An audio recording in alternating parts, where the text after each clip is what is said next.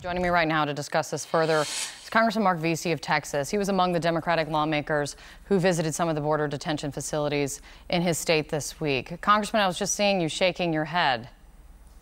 Yeah, I mean, just hearing that, I mean, uh, how, how, how can you hear that and not just and not just break your heart? I mean, it's it's it's awful.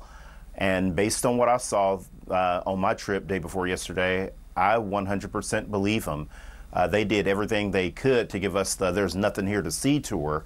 Uh, but when you talked to migrants that were in custody, uh, they told us firsthand that they were being told to drink out of toilets when they were told they were thirsty, that there were kids that were walking around in clothing where there was mucus, uh, just for, from days and days worth of uh, mucus and and other uh, debris like on their clothing, mm. uh, showers being denied for days. Uh, they told us that they could shower anytime, you know, at least once a day. But what we were told was that they were being denied showers for days by by migrants. And you know, based on this Facebook post, how can you uh, not believe that the migrants were telling us the truth? And now, based on what this Border Patrol uh, agent was just telling us, and and the IG report I mean, something has to change.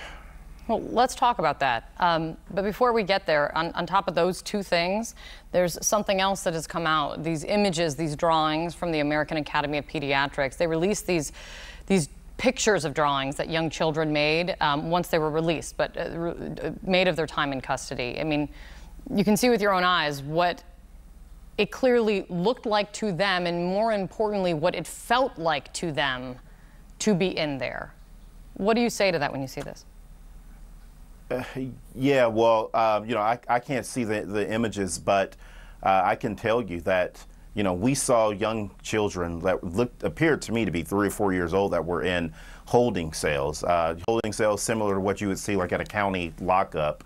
Mm -hmm. and and again, just based on the IG's report and and the interviews that we just heard, I mean, yeah, the, the kids are, are being, there's no question in my mind that these children are being treated uh, very poorly. And I think that it also illustrates that President Trump will do anything that he can to try to appease his base when it comes to immigration, and that he is using these migrants as, as pawns in a political game. And that is just, that's absolutely sick. And it has to stop now. And I will tell you that one of the things that has to change today is that members of Congress need to be able to go and visit these facilities without 48 hour notice. Right now, we have to give 48 hour notice. We need to be able to go into these facilities whenever we want to. Uh, at, and we can we can fly down there on our own dime. We can fly down there at the spur of the moment I actually have been wondering about this, about Congressman. It's really interesting, yeah. actually, that you bring this up because I, have been wondering this coming from the IG report where they did surprise visits at five facilities, and that's what they found. And even with the amount of notice that you were given, that you had to give to go into this facility, and the stories that you were told, I'm starting to wonder if you just because journalists can't go in there with cameras. That's the thing I continue to have to say to, to um, our viewers. Why don't you just make a tour of it? Why don't you just give that 48 hours notice and make a tour of it and keep visiting these facilities over and over again? Because I, maybe that is what would bring about, maybe that would is what would bring about change?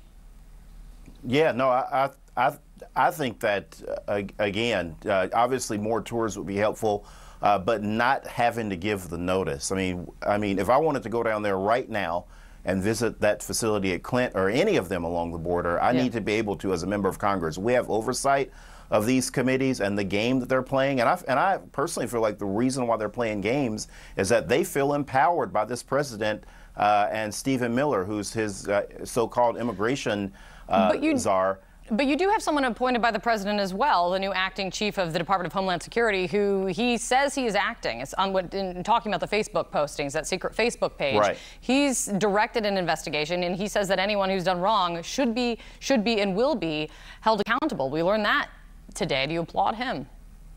Yeah, no, absolutely. He is certainly uh, saying the right thing when it comes to that. We need to see it followed up with action. We need to see uh, of course, you probably saw that Elijah Cummings, who's the chair of the Oversight Committee, that he's going to conduct investigations, uh, that the acting Uh, Secretary said that he is going to conduct investigations, and not only do people need to be disciplined, uh, people need to be fired. I mean, I, I, I can't tell you, Kate, just the fact that knowing that some of the people that were supposed to be our security for that day, uh, when we were at the press conference and all of the uh, people that were wearing the MAGA hats were out there screaming obscenities at us, that those were supposed to be our security personnel, and those are the people that are supposed to be uh, in charge of making sure that these migrants are being treated humanely, and they're a part of that Facebook page. I mean, that's just absolutely uh, unacceptable. And so when uh, investigations are conducted, and I hope that they will be conducted very swiftly, people need to be terminated. And again, depending on uh, what is found out, there may need to be some people that need to be prosecuted. Well, that, that's one thing that we do know is there's something like 9,500 members of that Facebook page. What we don't know exactly who those Facebook pages, who those postings are from, who those people are in real life. That is part of the investigation, and that is what Kevin McAleenan says they're going to get to the bottom of. There's so much more to this, especially from this IG report. I just cannot turn away from it, and no one else should. Congressman, thank you for coming on. Um, let us know when you go on your next tour. Absolutely.